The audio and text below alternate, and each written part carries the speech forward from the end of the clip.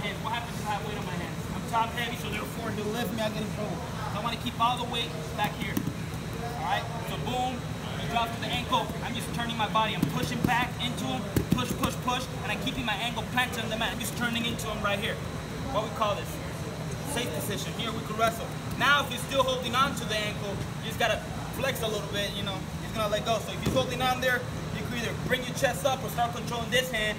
He's gonna drive up, boom, put it in the back pocket, boom, cut. So once again, remember, keeping your weight back on your heels, boom, he's there, pressure back, pressure back, boom, big chest. You don't wanna be bent over, he'll cradle you here, boom.